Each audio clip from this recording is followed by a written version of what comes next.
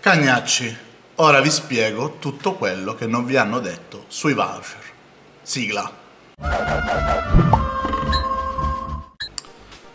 Ebbene sì, un video che avevo annunciato già da tempo sul mio canale Telegram, a proposito seguitelo nel caso non fosse iscritti, lo trovate qui sotto in descrizione, e perché è importante spiegarvi come sta davvero la situazione voucher, perché vi renderete conto che è soltanto un vile, vigliacco attacco al presidente Renzi, senza alcun vero motivo istituzionale e politico, anzi un motivo politico c'è, quello proprio di far fuori il non più Presidente del Consiglio. Ma andiamo per ordine.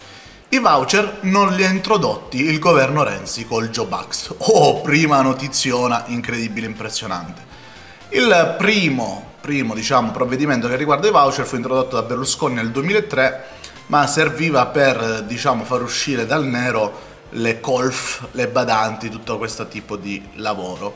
Più tardi, quando arrivò il governo Monti, si assistette alla prima liberalizzazione dei voucher con la riforma Fornero.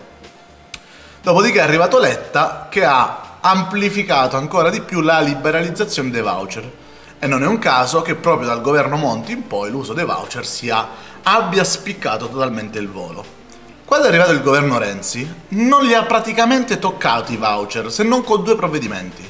Uno che ha portato il limite del pagamento per voucher alla singola persona da 5.000 a 7.000 euro, cosa che non ha sortito molti effetti visto che nessuno poi è stato interessato, quasi nessuno è stato interessato a quella fascia, e soprattutto Renzi, il presidentissimo, con una legge che ancora purtroppo è entrata in vigore, visto che ormai hanno abolito o aboliranno i voucher, aveva cercato di limitarne l'abuso perché molti compravano il voucher, ad esempio nell'edilizia, mettevano a lavorare in nero gli operai, quando arrivava un controllo, pop, ecco il voucher. Allora Renzi ha detto no, questa cosa non si può fare più, facciamo che da oggi in poi, dal momento in cui io, presidentissimo, faccio la legge, il voucher va dichiarato prima quando inizia e va dichiarato prima quando finisce, in modo che non si possa più fare alcun abuso. Quindi il voucher non è un provvedimento del Job Act, non c'entra assolutamente niente se non per questo ampliamento della fascia da 5.000 a 7.000, ma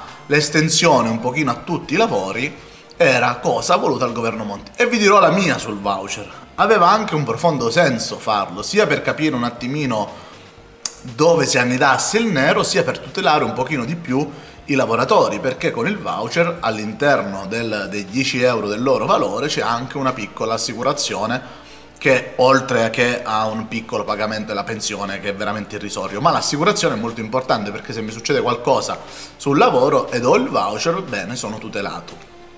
Ora, la CGL ha raccolto 3,3 milioni di firme per andare a fare un referendum sui voucher.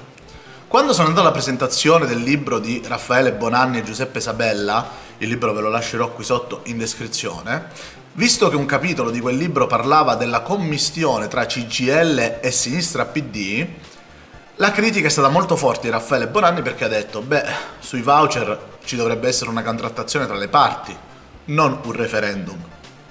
Ed aveva perfettamente ragione, vi spiego perché. Si sta utilizzando uno strumento democratico come referendum come arma politica contro un politico. E badate bene, non è un caso che Roberto Speranza e Bersani stiano, abbiano cercato di cavalcare l'onda del referendum voucher, perché poteva essere un'ennesima occasione per indebolire ancora di più quello che loro vedono come il nuovo Berlusconi. Sempre si parla del presidentissimo. Ora, quello che fa più ridere è che quando il voucher eh, è stato liberalizzato totalmente ed è stato votato, indovinate chi votò a favore del voucher? Pierluigi Bersani, c'è ancora il suo nome e cognome tra gli atti eh, della, della Camera. Tra parentesi, Bersani era anche il segretario del Partito Democratico che fece a votare a favore della riforma Fornero che conteneva l'estensione dei voucher. Come mai oggi questi si scoprono così riluttanti al voucher? Ve lo spiega il grandissimo Dellimellov, che così cercherà di farvi capire anche perché il governo praticamente li ha ritirati. Ora, parlando con un amico mi ha detto oh, ecco tu che ti sostituito del PD hai visto hai eliminato i voucher hai visto perché l'hanno detto, detto i sindacati io gli ho spiegato a lui quello che sto per spiegare a voi Semplicemente il governo ha voluto togliere un'arma di propaganda alla sinistra secessionista che si stava approfittando di questo referendum che è stato voluto dalla CGL, braccio armato di Bersani e compagnia, per appunto indebolire ancora di più uh, Renzi. Questa è una cosa che vi ho già detto. Allora immaginate che cosa dovrebbe fare un uomo attaccato in questo modo barbaro dove si usa uno strumento democratico per fare lotta politica, rimuove i voucher, che non era nemmeno un suo provvedimento, e così nessuno potrà coinvolgere gli italiani in questa guerra vergognosa fatta attraverso il referendum. E ha un profondo senso secondo me, ma lo sapete di chi è la colpa principale di questa marcia indietro su un provvedimento che io ritengo anche buono? Siete voi. Siete voi 60% degli italiani che hanno votato no al referendum costituzionale, che vi siete fatti ingannare da coloro che volevano portarvi di nuovo al voto in un clima di incertezza. Scoprite solo adesso che chiunque vincerà non potrà governare da solo e dovrà fare alleanze? Prima non lo sapevate, ma quando ve lo spiegavo io, massimo esperto, ve lo spiegavano altri, mentivamo, vivo... cioè, sapete cosa ci guadagno io? Zero, se non da cittadino un'istituzione, cioè quella Stato, che funziona meglio. E allora fatevi due domande su chi sono quelli della CGL Fatemi due domande su chi sono Bers Bersani e Speranza che prima votano a favore della liberalizzazione dei voucher e quando uh, la possono usare come arma politica invece si dimostrano i cavalieri, serventi e protettori del lavoro. Ecco, questa è la verità sui voucher. E qualcuno potrà dirmi, sì ma l'Istat considera occupati anche quelli che hanno un solo voucher. Bene, è vero, l'Istat considera occupati anche quelli che hanno preso anche un solo voucher, però dovremmo andarci a guardare anche quanti sono i voucher totali tra gli occupati. Di tutto il mercato del lavoro i voucher rappresentano lo 0,23%. Il dato ve lo metto qui, qui, Istat, ok, vi compare sullo schermo, quindi non è che il grandissimo del livello ve lo dice, è l'Istat stessa. Ora, del voucher si può pensare bene o male, si possono pensare tantissime cose, ma rimane veramente stupido utilizzare un referendum per farlo abrogare piuttosto che far partire una contrattazione tra le parti come in uno Stato democratico dovrebbe essere. Ma non mi meraviglio che la Camusso abbia in odio Matteuccio mio perché voleva abolire il CNEL e dopo la Camusso senza anche lo stipendiuccio del CNEL piangiucchiava. Quindi il nemico che gli vuole togliere i soldi a sta gente va abbattuto a tutti i costi.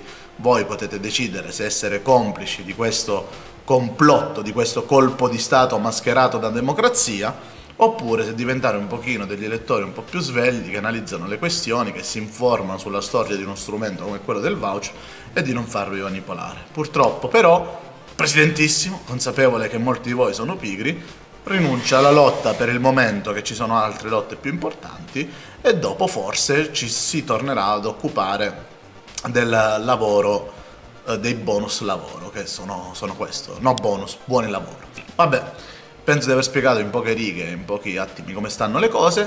Tenetevi pronti perché a breve esce il corso sulla libertà di espressione, satira, critica, diffamazione, ingiuria, bla bla bla. E nei prossimi giorni si, inizia a seguire anche, si inizieranno a seguire anche le presidenziali francesi, quindi attenzione a seguire molto bene il canale Telegram, che è il canale dove eh, do dei piccoli easter egg, dei piccoli bonus a quei tipi di video ok? Ve lo ricordo, qui sotto in descrizione. Ciao a tutti, alla prossima. Ah già, e seguite la pagina Teramo Comics, di cui sono direttore artistico, il massimo direttore artistico. Ah, un'altra cosa, il 24 giugno, qui negli uffici Wide Open, si terrà il primo workshop mio e di Bob, di cui ancora non vi annunciamo né titolo né contenuti, ma state attenti alle varie pagine Facebook, canali Telegram, bla bla bla, perché faremo un workshop.